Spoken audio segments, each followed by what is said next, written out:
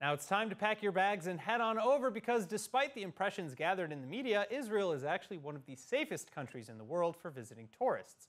A recent study by a leading insurance comparison website finding that Israel is the fifth safest among the 50 most visited countries on earth.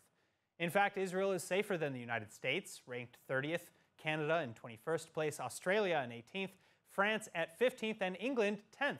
And the study is based on trusted international NGOs, including the World Health Organization, with data analyzed including all sorts of potential dangers from terrorism and carjackings to unintentional poisoning and traffic accidents. So overall, Israel's safety index was given a grade of A, with only Holland, Switzerland, Denmark, and Singapore receiving a higher mark of A+. The dubious distinction of the most dangerous of the 50 nations, meantime, going to South Africa by a wide margin.